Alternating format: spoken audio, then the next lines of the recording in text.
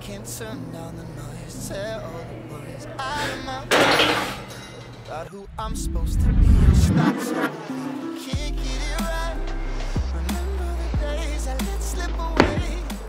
안녕하세요. 블리스입니다. 오늘은 테림 제약에서 광고를 받아서 머슬테크 마사지건 프로와 이 머슬테크 요가 매트에서 벤치프레스를 하기 전에 벤치프레스 워밍업으로 자주 사용하는 운동들을 한번 보여드리도록 하겠습니다. 우선 벤치프레스를 할 때 저는 가슴 근육이 많이 타이트한 편이라서 가슴 근육부를 많이 풀어주고 그리고 등 근육을 많이 활성화시켜서 최대한 등을 안정적으로 만들어 줄 수 있는 운동들을 포커스 둬서 하는 편입니다. 이렇게 했을 때 벤치프레스에서 조금 더 가슴의 활성도가 높아지고 뿐만 아니라 조금 더 안정적인 등으로 안정적인 벤치프레스를 할 수 있습니다. 그래서 지금부터 제가 하는 루틴에 대해서 한번 보여드리도록 하겠습니다. 일단 이 머슬테크사의 마사지건 같은 경우는 기존의 라인에서 조금 더 업그레이드된 프로 라인으로 제가 몇 번 사용해 본 결과 소음이 굉장히 작고 진동이 굉장히 작아서 마사지를 할 때 조금 더 손이 편했다고 해야 되나? 원래 기존의 마사지 같은 경우는 이게 1단계고요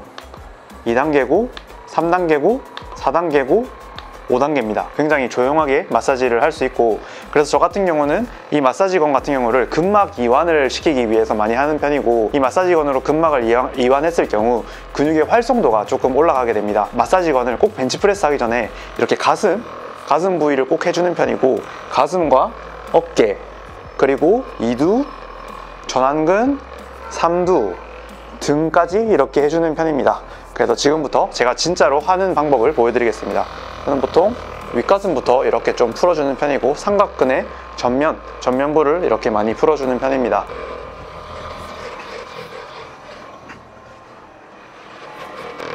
보통 저는 이 저- 전면 삼각근과 이 가슴이 이어지는 이 부분이 가장 타이트하기 때문에 이 부분을 중점적으로 항상 많이 풀어주는 편입니다.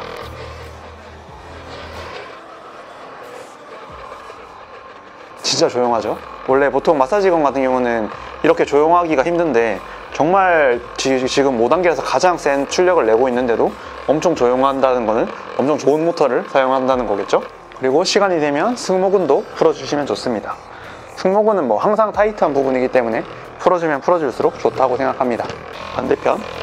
반대편도 똑같이 이렇게 풀어주시면 이 매트에서 어, 하는 스트레칭을 한번 해볼 텐데 어, 이 매트의 좀 장점을 먼저 설명드리자면 저는 이 원단? 이 원단이 굉장히 마음에 들어요. 이게 PVC 원단인데 약간 인조가죽 같은 느낌으로 약간 밀림 현상이 굉장히 작아가지고 스트레칭 같은 거 하기도 좋고 그리고 이 매트 같은 경우는 아까도 처음 봤듯이 접을 수도 있고 그리고 굉장히 두껍습니다 굉장히 두꺼워서 사실 홈 트레이닝 할 때도 굉장히 유용하고 층간 소음을 어, 완전 막아줄 수 있는 용도로 사용될 수 있기 때문에 어, 굉장히 추천을 드리는 매트고 그리고 이 매트의 경우는 이 재질 자체가 PVC다 보니까 방수가 되기 때문에 땀 같은 게 묻더라도 이렇게 한번 닦아내면 되는 걸로 알고 있습니다. 그래서 이제는 제가 여기서 폼, 여기 매트에서 제가 스트레칭 하는 모습을 한번 보여드리겠습니다. 전 제일 첫 번째로 폼롤러로 스트레칭을 할 때 뭐 다양한 걸 뭐- 많이 하지만 제일 먼저 하는 거는 이렇게 폼롤러를 세로로 세워서 이 세로 중간에 눕습니다. 그런 다음에 양팔을 벌리면 여기 가슴 근육이 이렇게 쫙 늘어나는 걸 느낄 수 있습니다.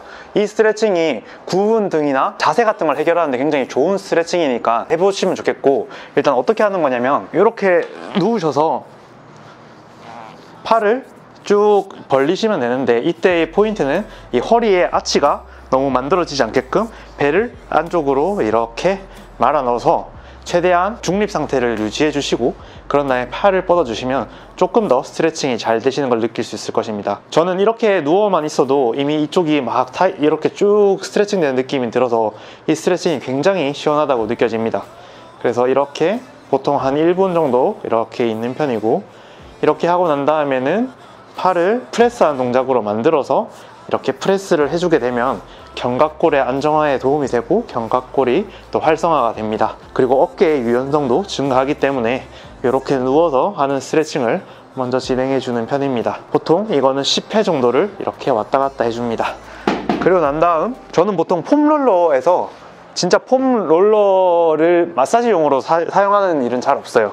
그 다음에는 이렇게 이제 흉추에 조금 가동성을 늘려주기 위해서 이건 이제 큰 아치를 만들기 위해서 하는 건데 흉추의 가동성을 만들기 위해서 등 상부 정도에 놓아주고 머리에 깍지를 낀 다음에 아치를 만들기 위해서 쭉 몸을 늘렸다가 다시 굽혔다가 늘렸다가 굽혔다가 이것을 보통 한 10회 정도 반복해 줍니다.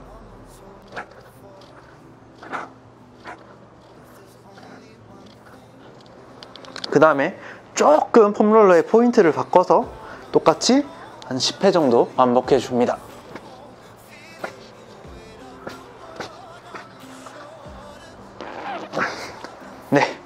이렇게 해주고 지금까지가 이제 약간 스트레칭성이었다면 이제는 안정화를 위해서 강화하는 운동을 해보도록 하겠습니다. 등을 강화시키는 운동을 할 것입니다. 등을 안정화시킨다고 하는 표현이 조금 더 맞는데 이 등 상부 그리고 승모근 하부 이 부분을 조금 자극을 시켜서 이 부분의 근육들을 활성화시킴으로써 벤치프레스에서 조금 더 견고한 자세를 만들고 안정적인 안정적인 지지대를 만들 수 있는 겁니다. 그래서 아치를 했을 때 이 등 상부로 바벨의 무게를 받아서 안정적으로 바벨을 내렸다가 올릴 수 있게 되는 겁니다. 그래서 이 부분을 활성화를 시켜줄 건데 굉장히 어, 간단한데 힘듭니다. 처음에 할 거는 이제 준비물은 아무것도 필요 없고 이렇게 매트에 누우시면 됩니다. 매트에 누우셔서 손을 들어줘서 한 10초 정도 버텨주십니다. 10초 정도 버틸 때 후면 삼각근과 등 상부가 강하게 수축되는 것을 느낄 수 있으실 것입니다. 그 다음 풀어주시고 잠깐 쉰 다음에 다음은 똑같이 자세를 취한 다음 팔을 프레스하는 것처럼 왔다 갔다 왔다 갔다 이렇게 10번을 반복해 줍니다. 다음은 팔을 Y자로 벌리셔서 10번 up 하겠습니다. 엄지손가락이 하늘로 간다고 생각하고 Y자로 벌린 상태에서 up, up 네, 이렇게 해주시고 조금 쉰 다음에 다시 엎드려셔서 이번에 T자 손등이 하늘로 올라가서 하나 둘 셋, 넷, 다섯, 일곱, 여덟, 아홉, 열.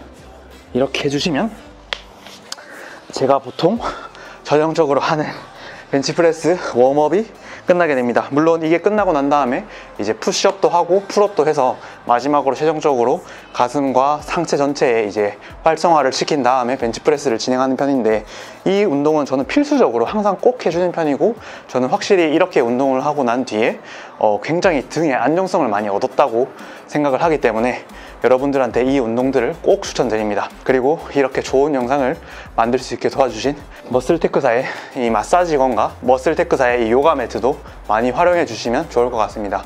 이 요가 매트는 정말 두꺼워서 자취생들은 매트리스로도 이용할 수 있을 것 같으니까 많이 활용해 주시면 좋을 것 같고 그리고 이게 접이식이기 때문에 휴대성도 굉장히 좋고 가볍습니다. 여러분들한테 추천을 드리며 이번 영상도 마무리하도록 하겠습니다. 이번 영상에는 정말 도움이 되는 운동들을 많이 소개해 드렸으니까 이 운동들은 필수적으로 루틴에 넣으셔서 꼭 하셨으면 좋겠습니다.